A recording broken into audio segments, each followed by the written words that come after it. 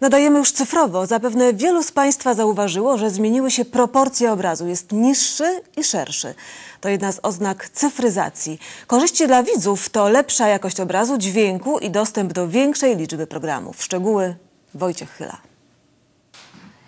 Eligiusz Krzemiński, wierny widz telewizji polskiej. Jego telewizor ma już ładnych parę lat. Zmiany kształtu wyświetlanego na nim obrazu są wyraźne. Dziwne to jest, niby dlaczego. W nowych telewizorach obraz jest szerszy. Telewizja musiała dostosować się do takiego właśnie kształtu. Stąd czarne paski widoczne w starszych odbiornikach na górze i na dole ekranu. Z duchem czasu poszła kronika i wszystkie pozostałe programy TVP Kraków.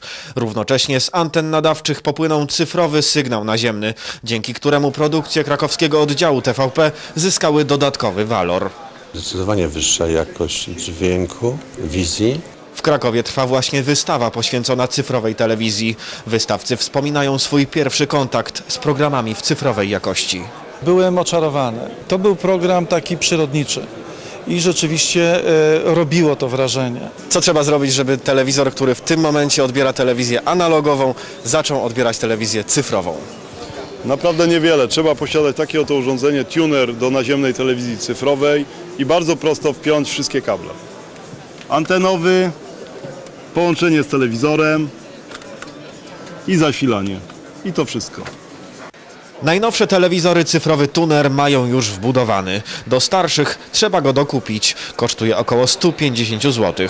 Gdy go podłączymy z 7 programów robi się 14, a wszystko w ramach płaconego radiowo-telewizyjnego abonamentu. W przyszłości obraz w telewizorze będzie jeszcze doskonalszy. Czeka nas w przyszłości format 3D, czy telewizja przestrzenna. E, Są już wyprodukowane telewizory. Jeśli na razie nie chcemy kupować tunera, możemy oczywiście oglądać te programy, które oglądaliśmy dotychczas. Urządzenie do odbioru cyfrowej telewizji będzie niezbędne dopiero za półtora roku. Wojciech Chyla, Kronika.